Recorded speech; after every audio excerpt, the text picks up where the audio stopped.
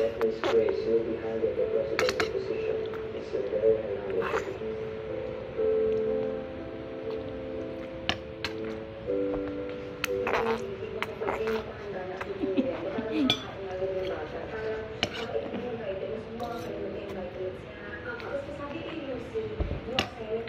uh...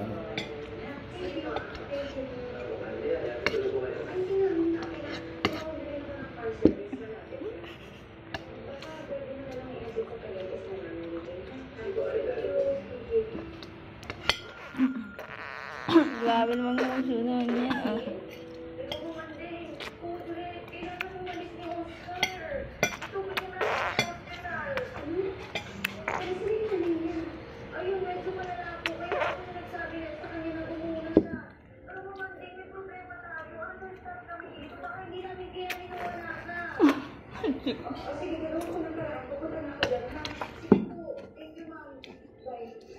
Kening.